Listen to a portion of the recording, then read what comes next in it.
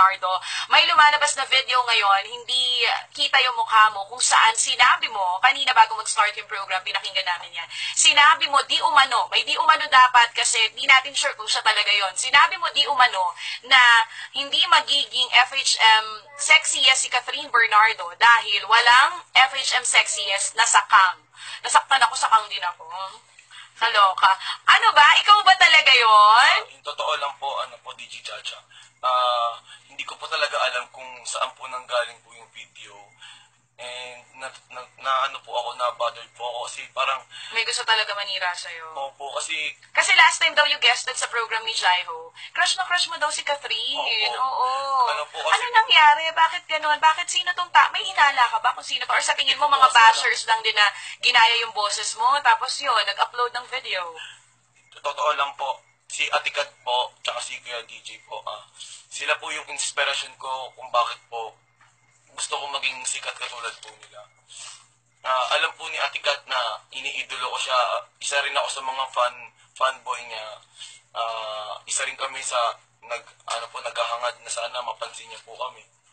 Kaya never ko po talagang nasabi po kay Atikat na sasabihin ko po yung ganun. Kasi hindi ko po alam yung background ni Atikat kung ano po yung meron siya, ano po yung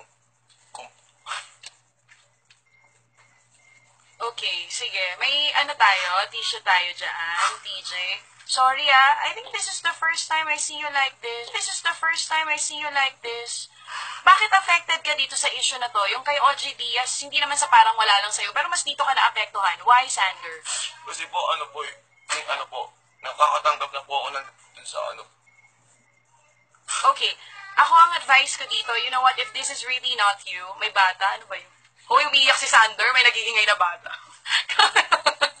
Sorry ah, okay, mabalik tayo. Sander, as I was saying, if this is really not you, um, ang pinaka dapat mong gawin, you can report this sa NBI Cybercrime Division kasi kung sino man yung nag-upload ng video, pwede nilang mahanap. Meron akong number na pwedeng ibigay sa inyo para may tumulong na tao sa inyo para mahanap kung sino itong gumagawa ng hindi maganda sa'yo kasi pwede mo siyang ireklamo.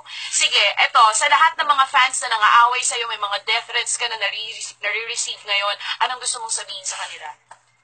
ah, sa lahat po ng fan po ng Katniel po, hindi ko po, hindi ko po talaga intention na ganunin po si Atikat kasi Kasi alam ni ng mga tao kung gaano mo ka-idol si Daniel at si Kat. love na love ko po talaga si Atikat po. Alam po ni Atikat yun, nakafollow po ako sa lahat ng social media account nila.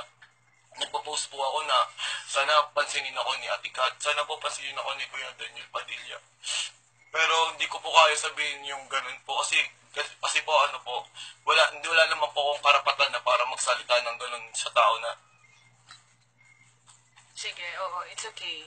Anong, may plano ba? Nakapag-usap na ba kayo ng manager mo? Kung may plano ba na kasuhan nga kung sino man yung gumawa nito? ano lang po, sabi ko kasi sa manager ko, ano, parang gusto ko po sana ano po, maglaylo muna, parang kahit mga man po, parang tigil muna ako sa, Titigil ka muna sa sa kahit sa, showbiz? hindi naman po yung mga guesting, kasi po nasa, parang po ano, natatakot po ako, nahihiya na po, nahihiya po akong marap sa mga tao, sa, sa mga kap- kapwa ko po artist, kasi syempre po, katulad nung kay, kay Tito OG na gano'n nga daw na attitude, sabi ko po sa sarili ko, kung may pagkakataon na na pwede ko sabihin kay Tito OG na kung may nagawa man po ako dun sa sa issue na yun or yung nagawa ko sa ano, pwede ko naman pong baguhin yun kasi po, bata pa naman po ako, hindi ko naman po alam yung mga ganun po eh. Okay, ganito. Um, your message for Catherine and Daniel. Kasi I'm sure um, sila matatalinong mga bata ito. And I know how good these kids, uh, these kids are. So, um, anong gusto mong sabihin sa kanila?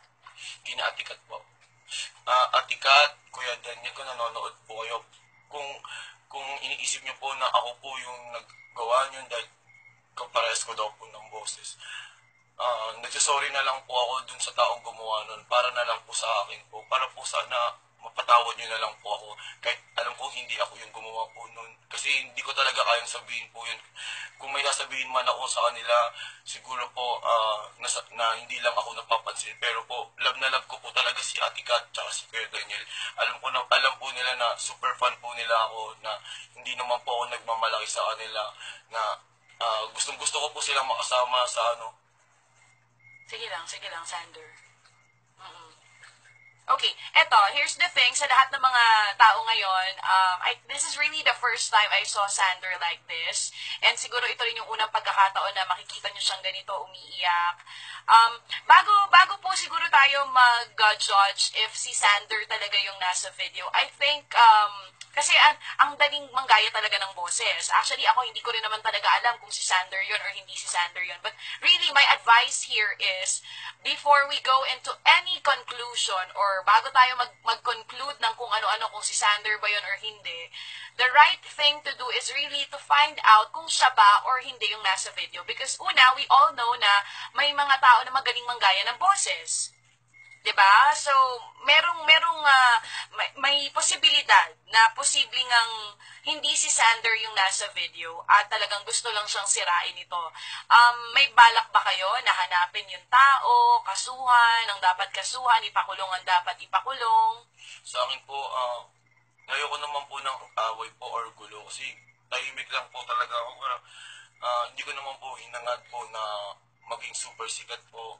Ah, ayoko lang po sana yung parang kumbaga nahuhusgahan po ako ng dahil lang po sa maling ano po, maling balita or na-post lang tapos wala naman pong ebidensya na parang dahil po gusto nila po akong sirain gagawa na po sila ng ganong video. Siguro po, um, yung gumawa po ng video na yon sana po, uh, uh, bawiin nyo na lang po, i-post nyo po na hindi naman po talaga ako yun dahil tot kung totoo, may kaboses din po, kaboses ko din po yung kapatid ko parehas po kami ng boses. Naku, baka kapatid mo yun ah. Baka yung kapatid mo naman ang mabash at magkaroon ng death threat.